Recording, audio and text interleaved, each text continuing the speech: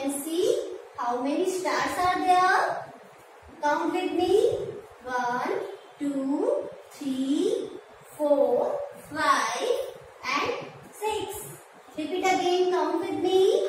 One, two, three, four, five, six. Okay. Now, how to write number 6?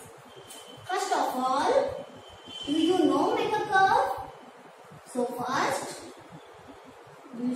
curve and round number 6.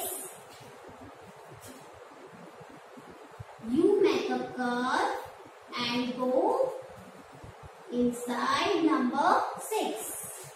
Okay? Now, number 6.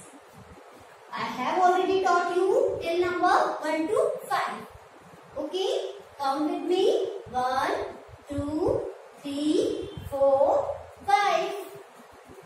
And what we will today learn? Number 6. Okay? Do learn and practice number 6. Thank you.